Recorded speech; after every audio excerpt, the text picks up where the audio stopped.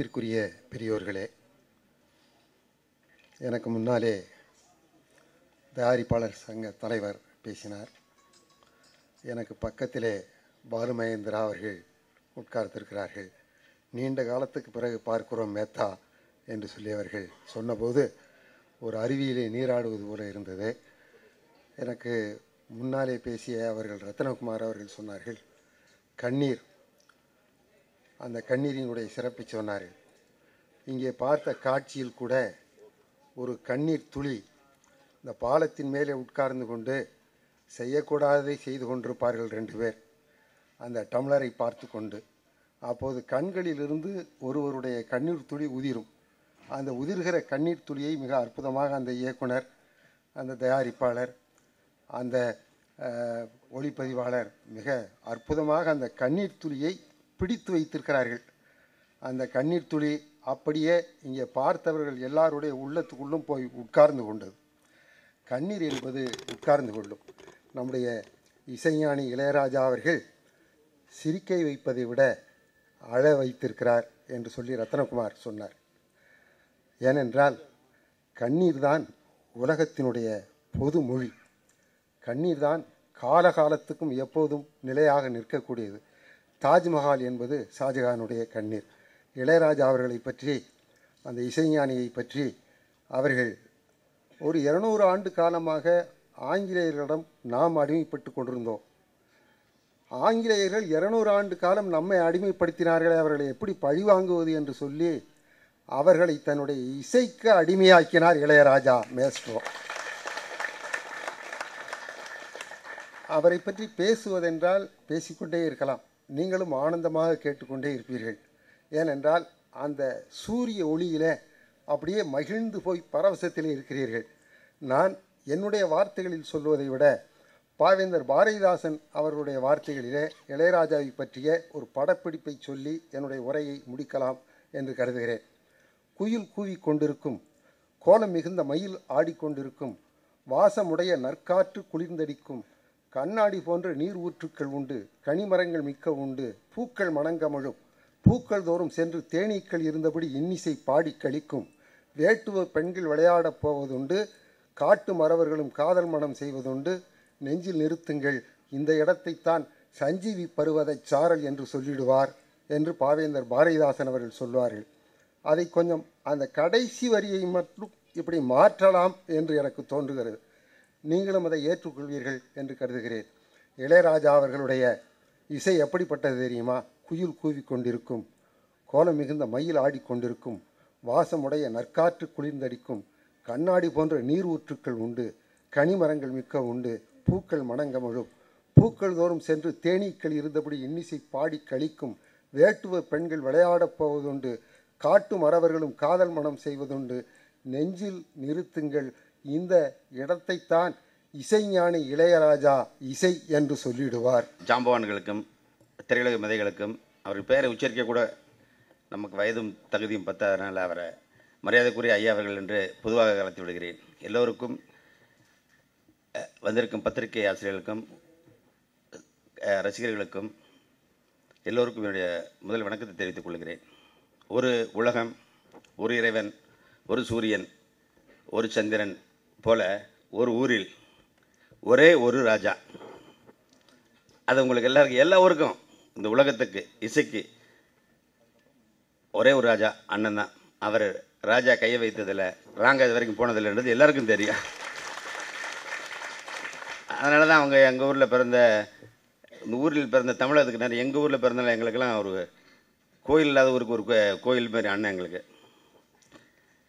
So ஒரு ஊரில் மட்டும் இல்லை எல்லா ஊருக்குமே ஒரே ராஜா தான். இப்போ இல்லை எப்பயுமே. ஸோ அண்ணனை பற்றி நான் புதுசாக சொல்கிறதுக்கு ஒன்றுமே இல்லை. எல்லாம் எல்லாமே உங்களுக்கு தெரியும். தெரியாத ஒன்று சொல்கிறதுன்னா அதை சொன்னால் உங்களுக்கு இன்ஃபர்மேஷனாக இருக்குன்னு நினைக்கிறேன். அண்ணன் தெரியும் சார் ராங்கான பட படங்களுக்கு அவர் கை வைக்க மாட்டார். அவர் கை வைக்கிற படங்கள் ராங்காமல் இருக்காதுன்றது ப்ரூவ்டு ஓடுது ஓடலைன்றதை வச்சு நாம் நாம் இங்கே வியாபாரத்தை பற்றி பேசவில்லை. இதயம் சம்மந்தப்பட்டது உணர்வு சம்மந்தப்பட்டது அவற்றை மட்டும் நாம் இங்கே பேசி பேச விரும்புகிறோம். ஸோ இன்றைய இசை சினிமாவின் போக்கு இசையின் போக்கு எல்லோருக்கும் தெரியும். ஸோ இந்த இரைச்சல் மிகுந்த சினிமா உலகில் இனிமையான கீதம் இவர்கிட்ட மட்டும் தான் கேட்க முடியும். இருக்கும் இசைஞானி ஐயா அவர்களுக்கும் இயக்குனர் பாலுமேந்திர ஐயா அவர்களுக்கும் கேஆர் ஐயா அவருக்கும் மேத்தா அவர்களுக்கும் விஜய் மில்டன் அவர்களுக்கும் பாலாஜி சக்தி அவர்களுக்கும் அண்ணன் ரத்னகுமார் அவர்களுக்கும் அப்போலோ நேரின் கலை சுப்பிரமணியம் சார் அவர்களுக்கும் மனமார்ந்த நன்றியை தெரிவித்துக் கொள்கிறேன். இந்த படம் ஷூட்டிங் ஆரம்பிக்கிறதுக்கு முன்னாடி இந்த ஸ்கிரிப்டாக எழுதிட்டு வந்து புக்கை அப்படி ஸ்கிரிப்டாக எழுதும்போது மேலே பிள்ளையார் சொல்லிக்கு பதிலாக இளையராஜர் போட்டு தான் எழுதணும். ஏன்னா இந்த கதை வந்து மனசில் வரும்போதே அதோடைய பின்னணி இசையும் மனசில் வந்துடுச்சு அந்த பின்னணி இசை அப்படிங்கிறது ராஜாசரோட பாடல்களை கேட்டு கேட்டு நம்ம வளர்ந்ததுனால நமக்குள்ளே இருந்த பாதிப்பு அது எழுத்தாக மாறி இப்போ இன்றைக்கி இசை வடிவமாக உங்கள் முன்னாடி வந்திருக்கு. இந்த படத்தை ஃபுல்லாக முடிச்சுட்டு சாங் சீக்வன்ஸு பேக்ரவுண்ட் ஸ்கோர் எல்லாமே மொத்த படமும் ராஜா சார்ட்ட வந்து ரஷ் போட்டு காமிச்சோம். டபுள் பாசிட்டிவ் போட்டு காமிச்சோம். சார் பார்த்துட்டு சில இடங்களில் சில கரெக்ஷன் சொன்னாங்க. இல்லை சார் உண்மை சம்பவம் அது அப்படியே இருக்கணும்னு. உண்மை சம்பவம்ன்றக்க எல்லாத்தையும் சொல்லிடுவியா? நான் பண்ண மாட்டேன்னு சொன்னால் என்ன சொல்லுவேன் அப்படின்னாங்க.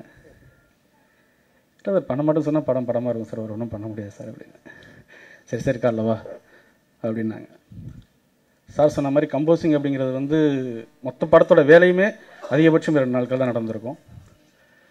கம்போசிங்கில் சார் சொன்ன ஒரு விஷயம் வந்து சார் நான் படம் எடுக்கும்போது வந்து சீக்வன்ஸும் சரி சாங் சீக்வன்ஸும் சரி எல்லாமே சாரோட சாங்ஸை வந்து நாங்கள் ரெக்கார்ட் பண்ணி ப்ளே பண்ணி அந்த குழந்தைக்கு மூடு வரதாகட்டும் அந்த கதாநாயகனுக்கு மூடு வரதாகட்டும் மற்ற கதாபாத்திரங்களுக்கு கதையோட உணர்வு வருவதற்காக சாரோட படத்தில் அந்த பின்னணி இசை சாரோட பாடல்கள் இதெல்லாம் பதிவு பண்ணி ப்ளே பண்ணுவாங்க ஸ்பீக்கரில் அதை கேட்டு கேட்டு அவங்க இன்வால்வ் ஆகி தான் அதில் நடித்தாங்க அந்த சீக்வன்ஸில் சார்ட்ட சொன்னேன். சார் இந்த சீக்வன்ஸுக்கு தான் போட்டேன் இந்த சீக்வன்ஸுக்கு தான் போட்டேன்னு.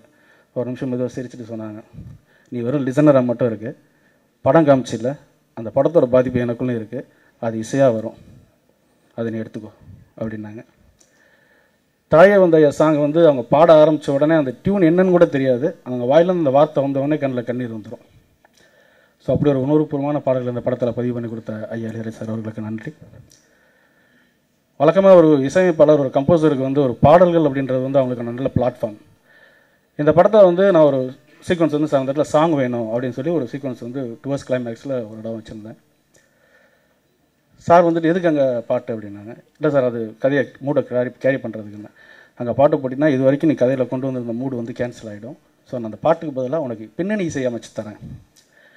ஒரு படைப்பாளி தனக்கு எங்கே வாய்ப்பு கிடைக்குதோ அங்கே தன்னை வந்து நிரூபிச்சுக்கணும் அப்படின்ற ஒரு எல்லையை தாண்டி ஒரு படைப்பு என்ன கேட்குதோ அந்த படைப்புக்காக தன்னை ஈடுபடுத்திக்கணும் அப்படின்னு நினச்ச ராஜா சாருக்கு என்னுடைய மரமான நன்றி தெரிவிச்சுக்கிறேன்